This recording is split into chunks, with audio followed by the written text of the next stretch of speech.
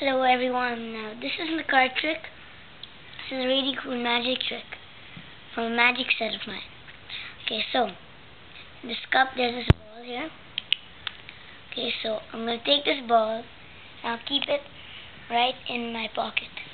Okay, so I'll keep it right there. You can see it. There it is, okay, in my pocket. So now, what I'm going to do is, I'm going to take this this wand, tap the balls back in.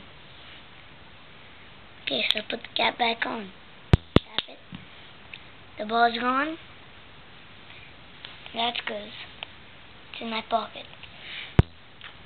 Okay.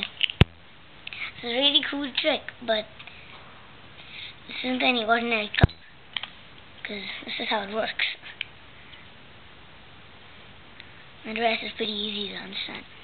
So here's what you do. You take the ball, put it there. Now you take this cap, put it on top of the ball. You take this and put it on top. So it's like that. Okay? So now what you're doing is you're just lifting two caps at once. And showing the ball here. Here are the two caps in your hand. So now you take the ball, keep it in your pocket or you can hide it. Keep it in your pocket, put it back on. Okay, so just keep the ball right there it with anything. Like this wand. You lift up one cap because the second one's empty.